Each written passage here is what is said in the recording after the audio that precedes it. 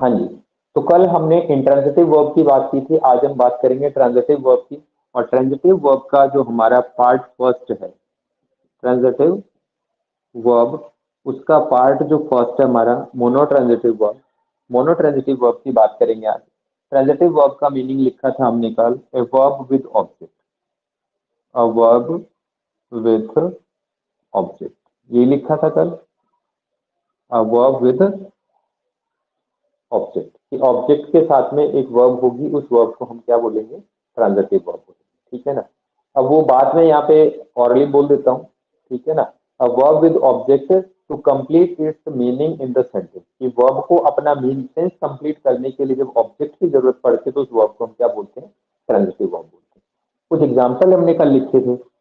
जैसे मैंने लिखा था eat drink eat drink read read और क्या लिखा था? और बताओ। ड्राइव ड्राइव राइड इट अब देखिए, कुछ वर्ब हमने लिखे हैं। इन वर्ब्स की हम बात करेंगे।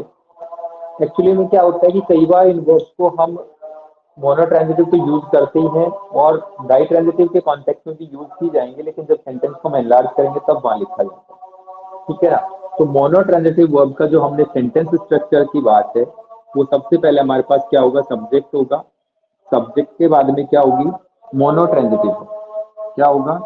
Mono transitive mono transitive verb ये होगी। और जब मोनो ट्रांजिटिव वर्ब की हमने बात की है तो इसके बाद में हमारे पास एक क्या होगा? ऑब्जेक्ट होगा। ठीक है ना? और जब एक ही ऑब्जेक्ट हमारे पास है तो हम वहाँ सेंटेंस में वो डायरेक्ट ऑब्जेक्ट है इनडायरेक्ट ऑब्जेक्ट है उसकी बात नहीं करेंगे सिंपली हमने ऑब्जेक्ट की बात की हमारा सेंटेंस स्ट्रक्चर हो गया। दूसरी बात ये सेंटेंस स्ट्रक्चर हमने हाँ हाँ बेटा बोलिए। सर क्लास आईडी क्या है? वो दूसरे फ़ोन में जोड़ना था बंद होने वाला। एक तो देखिए, जो स्ट्रक्चर हमने लिखा है यहाँ पे, ये स्ट्रक्चर एक अफर्मेटिव सेंटेंस का स्ट्रक्चर है। इस स्ट्रक्चर की हेल्प से हम किसी भी टेंस को, किसी भी मॉडल को यूज़ करके सेंटेंस को फ्रेम कर सकते हैं। इसके अलावा जैसे कल हमने बात की थी ट्रांसफॉर्मेशन ऑफ़ सेंटेंस तो ट्रांसफॉर्मेशन ऑफ़ सेंटेंस हमारा जो फ़र्स्ट हमने लिखा था अफर्मेटिव सेंटेंस अफर्मेटिव सेंटेंस लिखा था, उसी सेंटेंस को हमने ट्रांसक्राइब किया था नेगेटिव सेंटेंस में और नेगेटिव सेंटेंस के बाद हमने उसको ट्रांसक्राइब किया था इंटेरोगेटिव में। इंटेरोगेटिव में क्या था? इंटेरोगेटिव के बाद हमने उसको क्या था इंटेरोगेटिव नेगेटिव में। इंटेरोगेटिव नेगेटिव तो आप ट्रांस आप किसी भी सेंटेंस स्ट्रक्चर को, ये जो अफर्मेटिव का हमने दिया है, इसकी हेल्प से इनमें से चारों में से किसी को भी आप यूज़ कर सकते हो। एलिमेंट्स वही होंगे, बस उनका प्लेस चेंज हो जाएगा। जैसे ये अफर्मेटिव का हो गया।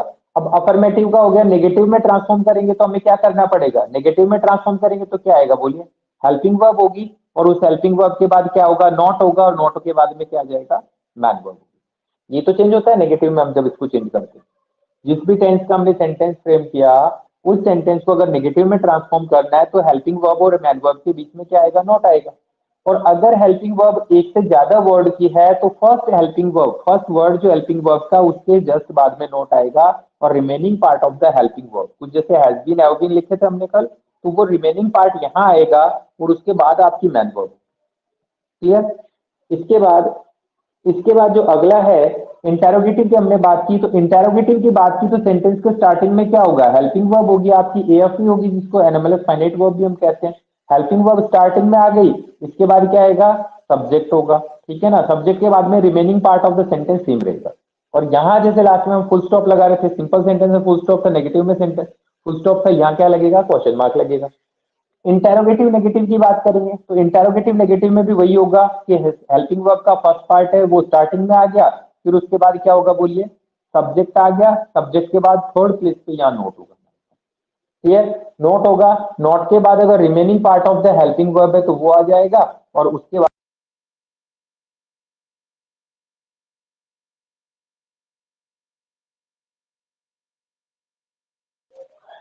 हाँ जी। तो हम बात कर रहे थे कि इंटेरोगेटिव नेगेटिव अब स्ट्रक्चर हमारे पास बेसिक स्ट्रक्चर ये है, इसके आधार पर हम सेंटेंसेस का फॉर्मेशन करते हैं।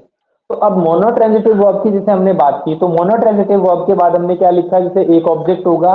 अब ये तो स्ट्रक्चर बेसिक स्ट्रक्चर हो गया। अगर सेंटेंस का स्ट्रक्चर हमें एनलार्ज करना है तो बेसिक स्ट्रक्चर के बाद हम क्या लिखेंगे, इसमें कोई ना कोई एडवर्ब हम ऐड कर देंगे। क्या कर देंगे? सब्जेक्ट हो गया मोनो ट्रांजिटिव वर्ब हो गई। मोनो ट्रांजिटिव वर्ब होगी और मोनो ट्रांजिटिव वर्ब के बाद में हमारे पास ऑब्जेक्ट होगा और ऑब्जेक्ट के बाद में हम क्या लिखेंगे यहाँ पे? एडवर्ब। क्या लिखेंगे? एडवर्ब्स। अब एडवर्ब्स हो सकता है आपके पास एक हो, एक से ज़्यादा एडवर्ब आप यूज़ करें। एडवर्ब देखिए एक मूवेबल वर्ड है।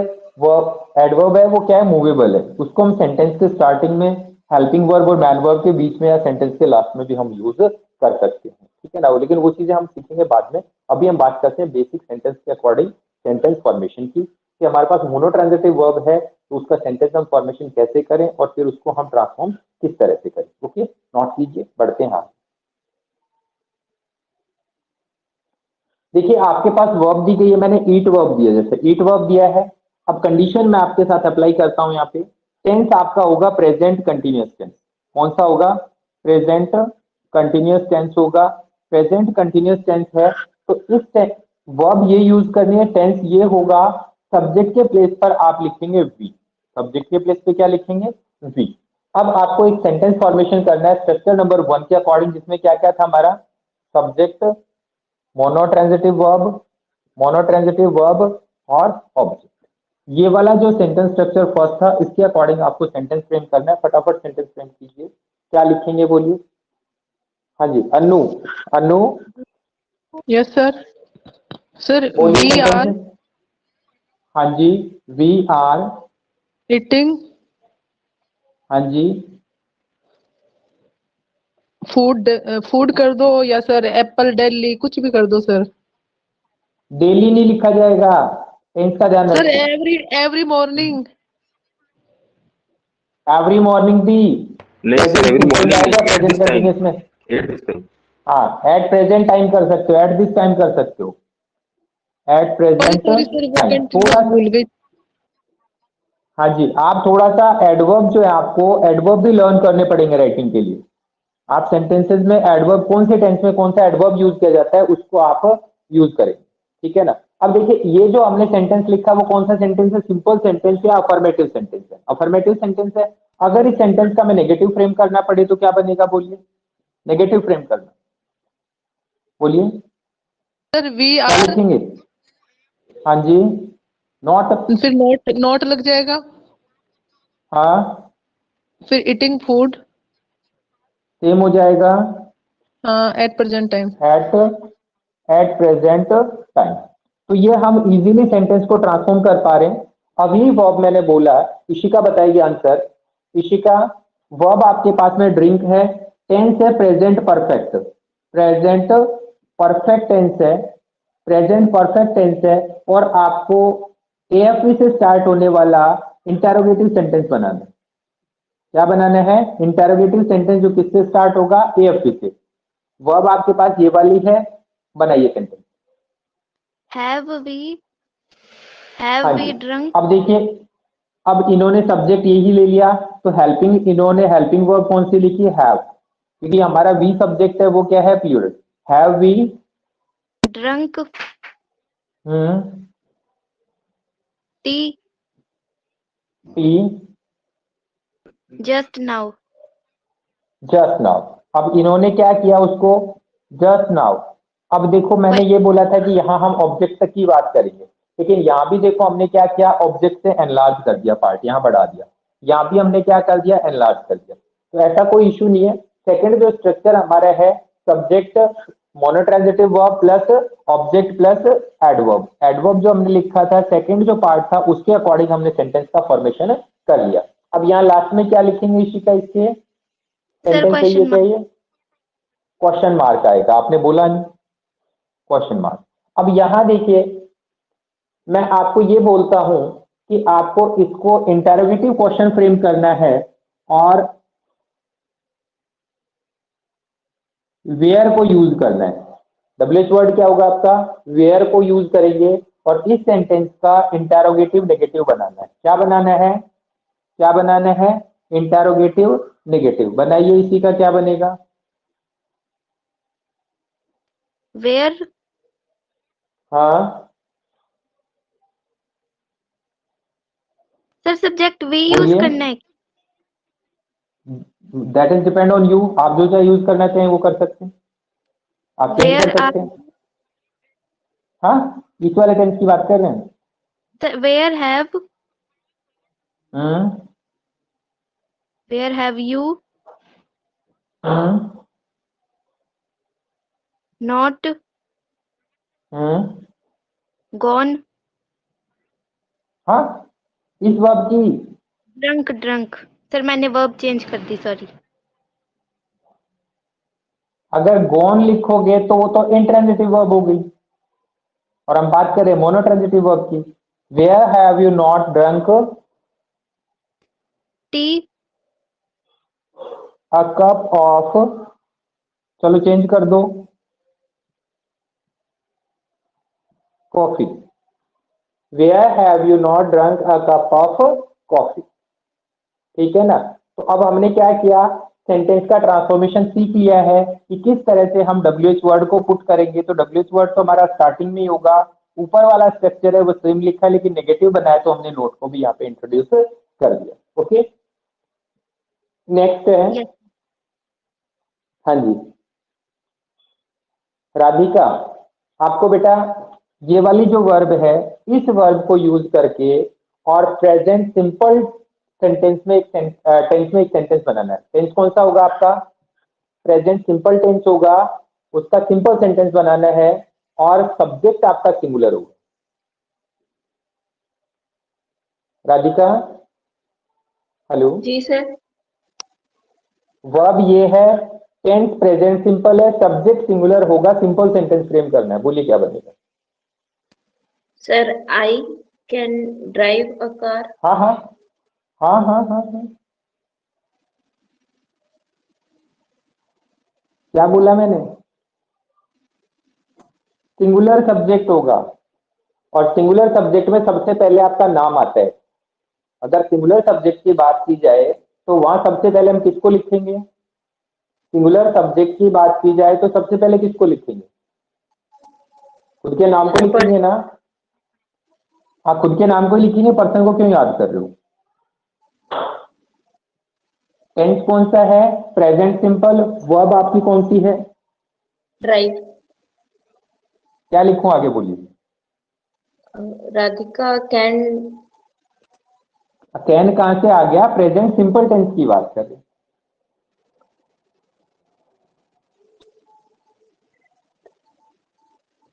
ड्राइव से कार हाँ जी।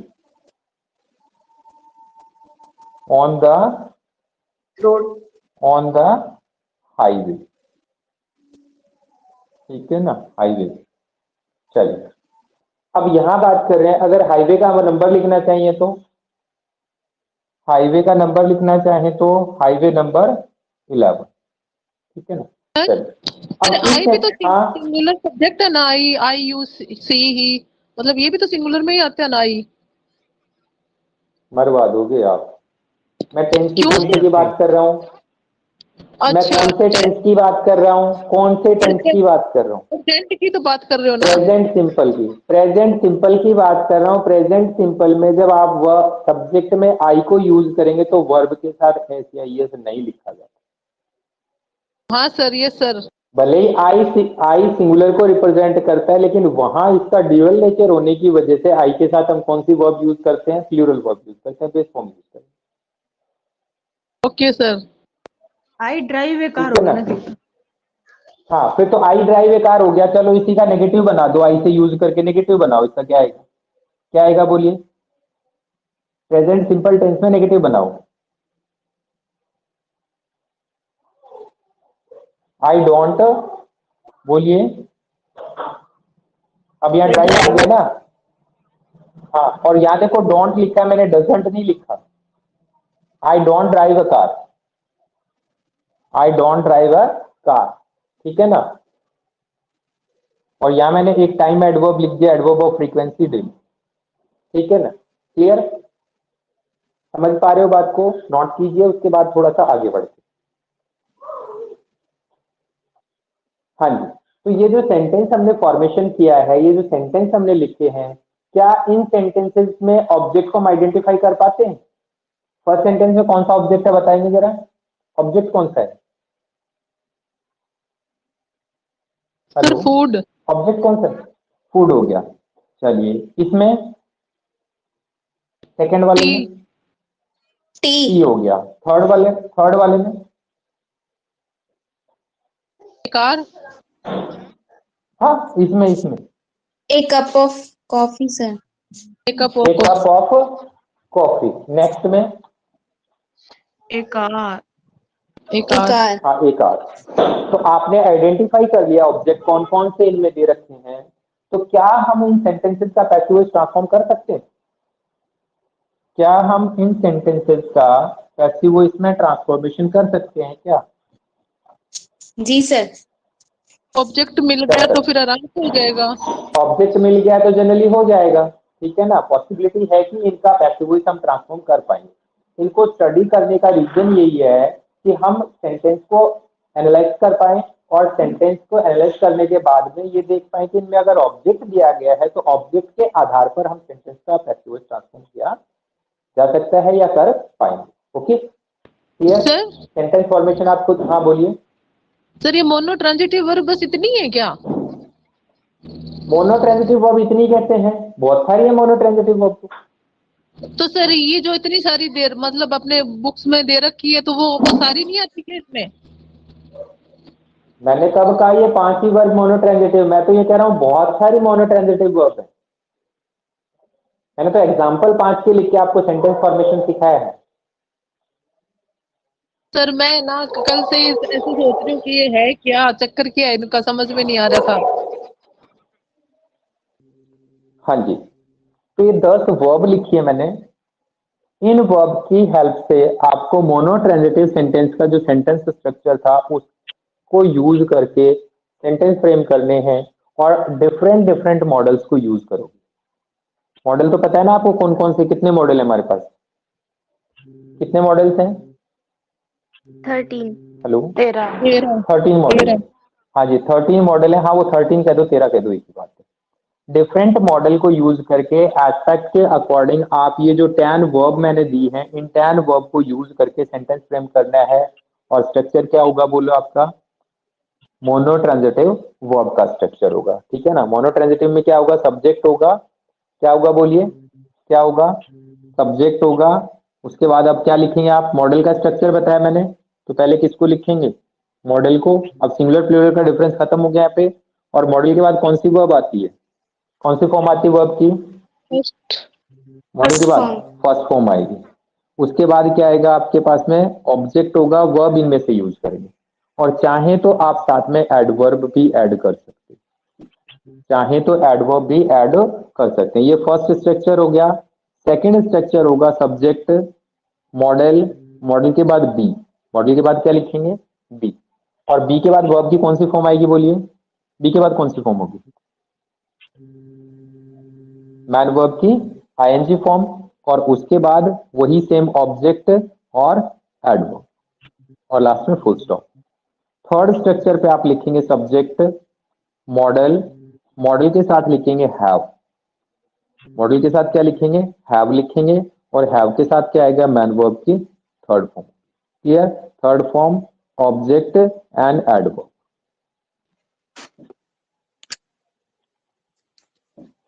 fourth जो स्ट्रक्चर होगा आपका सब्जेक्ट मॉडल हैव और हैव के बाद क्या आएगा बोलिए? Been been then ING form of the main verb then object then adverb adverb clear हाँ जी। वर्ब आपके पास टेन है। टेन वर्ब है। That is depend on you कि आप कौन से स्ट्रक्चर पे कौन कौन सी वर्ब को यूज़ करेंगे। चाहे तो मैं दो वर्ब और लिखवा सकता हूँ आपको तो उसमें आपको डिफरेंस नहीं रहेगा। ठीक है ना? तीन तीन वर्ब से बना लेना। हाँ? तीन तीन वर्ब से बना लेना। Leave L E A V E leave और maintain M A N T A I N maintain तो अब बारह वर्ब हो गई हैं। मॉडल स्ट्रक्चर आपके पास चार हैं। Three into four three into four three verb with four structure, each structure. Three verb with each structure equals to 12 ठीक है? तो इनको आप यूज़ करेंगे, किसी वर्ब का आपको मीनिंग नहीं समझ में आ रहा तो आप मेरे से पूछ सकते किसी वर्ब का अगर मीनिंग समझ में नहीं आ रहा तो आप मेरे से पूछ सकते ओके हाँ जी देखिए आपका क्वेश्चन आपका दिया गया translate into Hindi translate the following into translate into Hindi Hindi में ट्रांसलेट करना है। अब दो चीज़ों का ध्यान रखेंगे कि यहाँ पर जो दिया गया वो एक प्रोवर्ब है हमारे पास। वो प्रोवर्ब ये क्या है हमारे पास में? एक फ्रेज है। क्या दिया गया हमें फ्रेज है। लेकिन नीचे जो मैंने लिखा है हाँ नीचे लिखा है मैंने यहाँ इसी के पैरल लिखा है वायलेंस इज़ प्रोहिबिटेड अब यहाँ देखिए, जब हम एनालिसिस कर रहे हैं तो इज़ हमारे पास यहाँ वर्ब है। इज़ के हमारे पास में? मैन वर्ब है, और यहाँ ये सब्जेक्ट के प्लेस पे है, और इसके बाद में ये सब्जेक्ट कॉम्प्लीमेंट है। ये क्या है? सी डैश है। सब्जेक्ट कॉम्प्लीमेंट है लास्ट में फुल स्टॉप लिखा है। अब अगर लिटरल मीनिंग निकालें इनका मीनिंग निकालेंगे तो दोनों का अर्थ एक ही है। ठीक है ना? लेकिन जैसा इनका स्ट्रक्चर दिया गया स्ट्रक्चर के आधार पर अगर हम इनका हिंदी ट्रांसलेशन करेंगे तो क्या लिखा प्रोहिबिशन ऑफ़ वायलेंस तो हिंसा का निषेध, हिंसा का निषेध, ठीक है ना? लेकिन हमने लिखा है हिंसा निषेध है। अब हिंसा निषेध है तो ये तो वाक्य बन गया। अब यहाँ हमने फ्रेज की बात की और यहाँ हमने सेंटेंस की बात की। तो यहाँ सेंटेंस की जब बात की तो इसका स्ट्रक्चर भी सेंटेंस वाला होना ज़रूरी डिफरेंस समझ में आपको? अगर उन्होंने आपको फ्रेज दिया है तो फ्रेज के अकॉर्डिंग ही हम उसका ट्रांसलेशन करेंगे, ना कि सेंटेंस के अनुसार। अगर सेंटेंस के अनुसार आपने कर दिया इसका मतलब ग्रामेटिकली आपको नॉलेज नहीं है कि कौन सा तो फ्रेज है और कौन सा सेंटेंस है उसी के अकॉर्डिंग आपको काम करना ओके यस सर तो देखिए आपका सेकंड वाला था कॉग्निजेंस ऑफ़ ऑफेंस अब कॉग्निजेंस का मीनिंग आपने बोला संज्ञान ऑफ़ का आ गया का और किसका ऑफेंस अपराध का संज्ञान ठीक है ना? अपराध का संज्ञान। अब यहाँ भी देखेंगे हम recovery of loss recovery of loss of the damage caused to the property क्या होगा इसका बोलो? सर रिकवरी तो टू द हाँ हो गया है ना? हाँ। और लॉस हानि अब लॉस का मतलब क्षति की हानि। क्षति की सर डैमेज में क्षति होगी यहाँ पे डैमेज है ना उसका क्षति होता है। एक minute. Recovery of loss recovery का मतलब क्या होगा? वसूली। क्षतिपूर्ति क्षतिपूर्ति भी कह सकते हैं क्या? सर वसूली वसूली। वसूली। हो चलिए। वस चलिए वसूली हो गया। वसूली किसकी? क्षति की वसूली। क्षति की वसूली। ऑफ़ द डैमेज अब डैमेज का क्या होगा? सर डैमेज हानि थोड़ी होता है सर आपने क्षति उल्टा लिख दिया। हाँ जी। तो देखिए जो हमारे पास दिया गया फ्रेज था recovery of loss of the damage cause to the property तो इसका हिंदी ट्रांसलेशन क्या होगा? संपत्ति को हुई हानि। हानि किसको हुई? संपत्ति की हुई। ठीक है ना? संपत्ति को हुई हानि या संपत्ति की हुई हानि होगा। हेलो? संपत्ति को हुई हानि होगा या संपत्ति की हुई हानि होगा। संपत्ति कोई होगा सर। सर की होगा सर? ध्यान रखेंगे की आप। हानि की क्षतिपूर्ति की वसूली सर की होगा? चेक कर लो आप देख लो फिर सोच लो। सर संपत्ति को होगा सर। की